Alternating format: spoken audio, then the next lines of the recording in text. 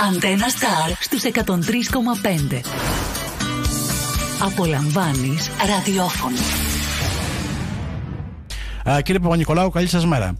Καλημέρα σε εσάς και στους κρατές σας. Τώρα βεβαίως θα πούμε αυτό το οποίο πρέπει να πούμε. Ότι δηλαδή α, βρισκόμαστε α, ξανά και ξανά α, στην, α, μπροστά σε, σε, να αντιμετωπίσουμε την ίδια κατάσταση και βεβαίως για μια ακόμη φορά βρισκόμαστε να τρέχουμε πίσω από τα γεγονότα, πίσω από τις εξελίξεις. Ε, τα είχαμε χήμα μας ήταν για τσουβαλάτα. Η, απο, η αποδυνάμωση και αποψήλωση του δημοσίου συστήματος υγείας έχει αρχίσει εδώ και πάρα πολλά Να υπενθυμίσω μόνο στους ακρατές σας και ότι ήδη από τη μεταφορά του νοσοκομείου Αγρινίου από το παλιό στο καινούριο ναι. που τώρα πια έχει το πάρα πολλά χρόνια με ποιον τρόπο έγινε. Από τις 175 κλίνες περάσαν στις 310 με το ίδιο ακριβώς προσωπικό με αποτέλεσμα δεν υπήρχε καν το έμψυχο δυναμικό που χρειαζόταν για να λειτουργήσει ένα σύγχρονο νοσοκομείο.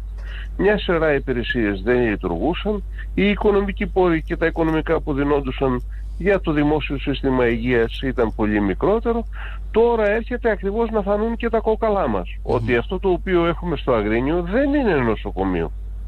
Όταν δεν μπορεί να καλύψει όλες τις κλινικές, όταν δεν μπορούν να λειτουργήσουν όλες οι κλινικές, δεν μπορεί να λογίζεται σαν νοσοκομείο που μπορεί να προσφέρει σε δευτεροβάθμιο επίπεδο υγεία στον τόπο και στο λαό αυτού του, του, του τόπου. Και νομίζω ότι και ο κύριος Αλμπάνης να πάρει πίσω την παρέτησή του και να επανελθει Δεν μπορούμε να, να κρύψουμε κάτω από το χαλί όλα αυτά τα οποία Σε καμία περίπτωση. συμβαίνουν. Χρειάζονται τώρα άμεσα μέτρα και όχι μόνο στήριξη του ιδιωτικού τομέα γιατί ουσιαστικά οι κυβερνήσεις και τούτοι εδώ είναι αποφασισμένοι και οι προηγούμενες που προωθήσανε τα ιδιωτικά συμφέροντα ένα των δημοσίων συμφερόντων, ένα των συμφερόντων του λαού. Το, το πόσο ξοδεύει ο Έλληνας πολίτης για την υγεία του είναι δυσβάσταχτα από άλλες ανεπτυγμένες και ανεπτυγμένες καπιταλιστικές χώρες που έχουν ιδιωτικό τομέα, λειτουργεί ιδιωτικός τομέας. Εδώ τα έχουμε δώσει όλα. Και να σκεφτείτε ότι έχουμε ένα τέτοιο νοσοκομείο όταν έχουν απαξιωθεί και τα κέντρα υγείας, όταν έχουν αποξιωθεί και τα αγροτικά ιατρία που υπήρχαν. Τώρα στα χωριά μας δεν υπάρχει γιατρός, υπάρχει συνταγογράφος. Περνάει μια φορά τη βδομάδα, δυο, γράφει συνταγές και φεύγει. Δεν πρόκειται να ασχοληθεί με την πρωτοβάθμια υγεία. Και όλος ο κόσμος καταστάνει στο νοσοκομείο.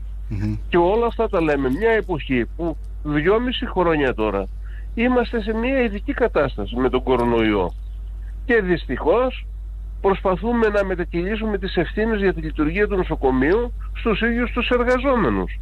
Και βλέπετε μια κυβέρνηση τη σημερινή αλλά και την προηγούμενη ουσιαστικά ανάλογη για κάθε πρόβλημα που υπάρχει φταίνε οι εργαζόμενοι. Γιατί δεν κάνουν καλά τη δουλειά τους γιατί το ένα γιατί το άλλο. Και σιγά σιγά θα μας πούνε ότι φταίει και ο λαός που έχει απαιτήσεις. Για να έχει μια πραγματικά δημόσια δωρεάν υγεία για όλο το λαό με όλες τις προϋποθέσεις τις συγχρονες Να λειτουργήσουν δηλαδή και στο νοσοκομείο μας όλα αυτά τα οποία απαιτούνται. Είπαν για την έναρξη ημοδυναμικού. Δυστυχώς κάτι τέτοιο παραπέμπεται στις καλένδες. Μια σειρά εξετάσεις δεν μπορούν να γίνουν μέσα στο νοσοκομείο. Συν, συν, συν όλα αυτά που ανα, αναφέραμε σε ιατρικό, επιστημονικό προσωπικό, βοηθητικό προσωπικό, σε νοσοκόμες, νοσηλευτικό προσωπικό, δι, διοίκηση και τέτοια, είναι στοιχεία τα οποία κανείς πια δεν μπορεί να αποκρύψει. Για να υπάρξει επίλυση του προβλήματος πρέπει να γίνει η υπόθεση όλων μας. Να γίνει η υπόθεση πρώτα και κύρια του μαζικού κινήματος, των εργατών, των αγροτών, των μικροεμπόρων, των μικροεπαγγελματιών, γιατί εμείς γευόμαστε πρώτα και κύρια αυτή τη δημόσια υγεία. Δεν τη γεύονται αυτοί που έχουν τον παρά, που έχουν γεμάτη την τσέπη, θα τη βρουν τη υγεία τους. Εμείς εάν δεν έχουμε δημόσιο νοσοκομείο, εμείς δεν θα βρούμε την υγεία μας. Γι' αυτό πρέπει όλοι παρέα, σαν μια γροθιά, να παλέψουμε προς αυτή την κατεύθυνση. Να υπάρξει πραγματικά ένα νοσοκομείο το οποίο το χρειαζόμαστε, το έχουμε ανάγκη και είναι και δικαιωμά μας. Τόσα πληρώνουμε σε ασφαλιστικά μας ταμεία, τόσα πληρώνουμε για την υγεία. Ε, λοιπόν, θέλουμε να έχουμε αυτό το οποίο μας αξίζει, αυτό που το 2022 δικαιούμαστε και όχι αυτό που το 1915 μπορεί να ήταν δημόσια και δωρεάν υγεία.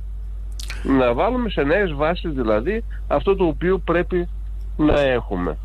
Τώρα, ε, κύριε Παπα-Νικολάου, ε, έχουμε αυτό το Δημοτικό Συμβούλιο, ε, την, το έκτακτο ή το Δημοτικό Συμβούλιο το οποίο έχει ως αποκλειστικό θέμα το ζήτημα της κατάστασης στο νοσοκομείο κυρίως του Αγρινίου.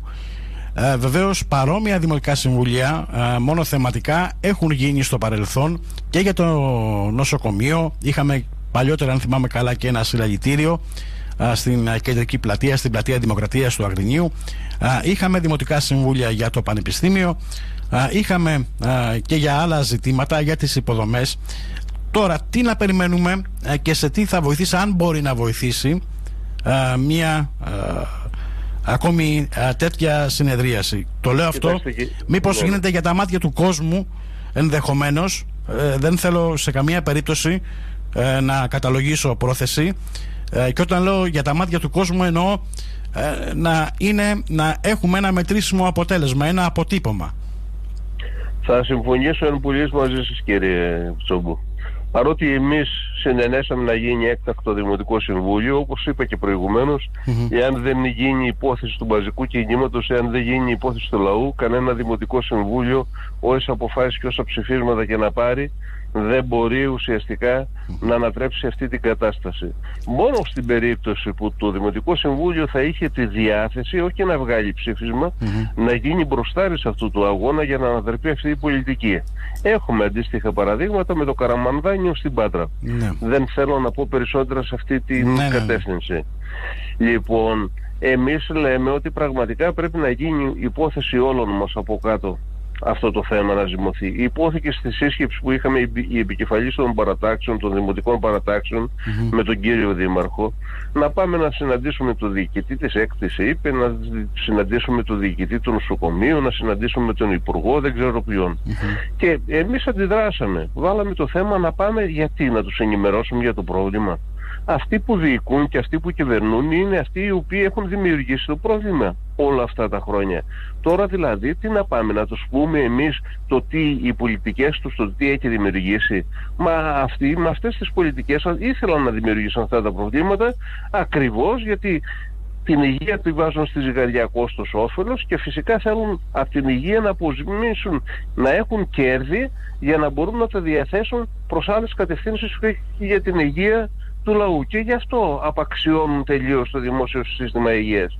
Από τη μια πλευρά να στηρίξουν τον ιδιωτικό τομέα και από την άλλη να βρουν και κεφάλαια τα οποία θα διοχετεύσουν για την πράσινη ανάπτυξη ή σε διάφορους τομείς που αυτοί επιλέγουν να δώσουν στους ε, μεγάλους του πλούτου για να μπορέσουν να λειτουργήσουν ακόμη καλύτερα. Λοιπόν, Άρα, τέτοιες λοιπόν... λογικές ανάθεσεις δεν μπορούμε να έχουμε εμείς οι εργαζόμενοι. Ή θα γίνει υπόθεση δική μας, του καθενός και της καθεμιάς από κάτω και οργανωμένα θα δώσουμε αυτόν τον αγώνα για να έχουμε αυτό το οποίο δικαιούμαστε. Και δικαιούμαστε πάρα πολλά και σε αυτόν τον τομέα της δημόσιας υγείας. Μάλιστα. Θα περιμένουμε λοιπόν να δούμε τι θα υποθεί, τι θα λεχθεί και κυρίως ε, ποιοι θα είναι εκεί στο. Δεν περιμένετε κύριε Εγώ το, μα, το, μα, το έχω, μα το έχω πει. Έχω, το έχω πει. Ε, ε, ε, κύριε Παπα-Νικολάου. Μια συνεδρίαση δεν θα λύσει το πρόβλημα. Ε, μα αυτό, αυτό λέμε καθημερινά. Σήμερα. Τώρα.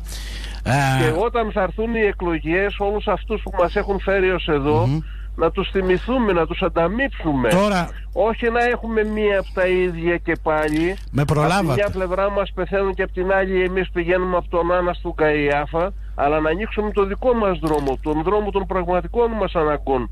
Να βάλουμε το δικό μας κυβερνητικό πρόγραμμα μπροστά εμείς, αυτό το οποίο πραγματικά μπορεί να λύσει τα προβλήματά μας.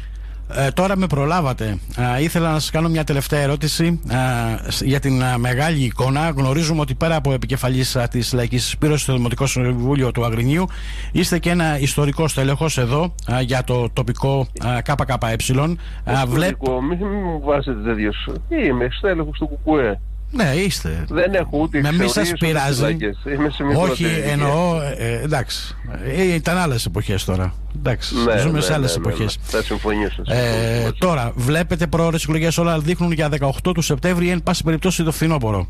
Ε, και τι θα σημαίνει αυτή η πρόορη προσφυγή στις ε, κάλπες; Κοιτάξτε, εμείς, σαν Κομμουνιστικό Κόμμα Ελλάδας, είμαστε ανα πάσα στιγμή έτοιμοι. Άλλωστε, το ξέρετε κι εσείς, Ναι, ναι. το ξέρει και όλος ο λαός, ανεξάρτητα αν συμφωνεί με τις θέσεις του ΚΚΕ, αν το παρακολουθεί από κοντά ή από μακριά, ότι το Κομμουνιστικό Κόμμα Ελλάδας και αυτή τη δύσκολη περίοδο του κορονοϊού ήταν το κόμμα που δεν έκλεισε το στόμα του. Μμμ. Ήταν το κόμμα το οποίο προσπάθησε να οργανώσει το λαό, ήταν το κόμμα που πήγε κόντρα στη φήμωση του λαού, ήταν το κόμμα το οποίο διεκδίκησε, οργάνωσε αγώνες, προσπαθούσε δηλαδή ουσιαστικά να δώσει στην απογοήτευση μια νότα αισιοδοξία ότι υπάρχει άλλος δρόμος να αντιμετωπιστούν τα πράγματα.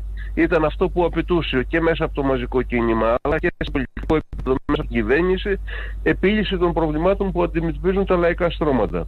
Έτσι για μας οι εκλογές όποτε και αν γίνουν είτε αν γίνουν σε ένα μήνα δύο είτε αν γίνουν σε 8 μήνες 10 θα είναι άλλος ένας σταθμός στην ταξική πάλι που διεξάγουμε καθημερινά.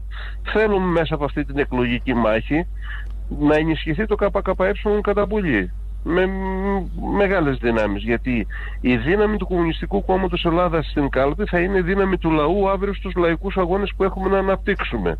Βλέπετε το ΚΚΕ με τους 15 βουλευτές που έχει σε κοινοβουλευτική δύναμη ουσιαστικά παρεμβαίνει για όλα τα προβλήματα που αντιμετωπίζουν τα λαϊκά στρώματα. Αν είναι μεγαλύτερη αυτή η δύναμη, με μεγα... αυτή θα είναι παρακαταθήκη ακριβώς για το λαό για την επίλυση των δικών του προβλημάτων.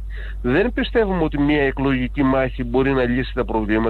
Πιστεύουμε όμως ότι μια εκλογική μάχη μπορεί να δώσει το έναυσμα της αντεπίθεσης για τα λαϊκά στρώματα, για το λαό, για το λαϊκό κίνημα, για να υπάρξει μια άλλη μέρα με λαϊκή εξουσία ο λαός να πάρει τα ενία της οικονομίας και της εξουσίας στα χέρια του. Μμμ. Μάλιστα. Ε, θα έχουμε την ευκαιρία να τα λέμε ε, και για πολλά άλλα. Σας ευχαριστώ πολύ.